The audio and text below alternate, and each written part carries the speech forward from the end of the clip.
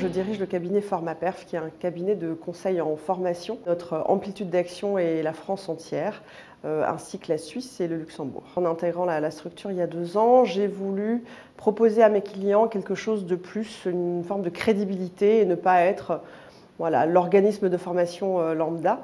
Et en me posant cette question-là, je me suis dit, ben voilà, les outils TTI font partie euh, de ce qui va faire la différence et de ce qui va nous rendre légitimes par rapport euh, à nos clients euh, grands comptes euh, qu'on veut aussi, veut aussi approcher. TTI m'a semblé être l'organisme, enfin la société plutôt qui propose des outils très opérationnels et très concrets. moi, j'aime, j'ai besoin de, de comprendre l'utilité concrète des outils pour pouvoir en parler à mes clients et ça m'a semblé une évidence en discutant avec Patrick Lecomte.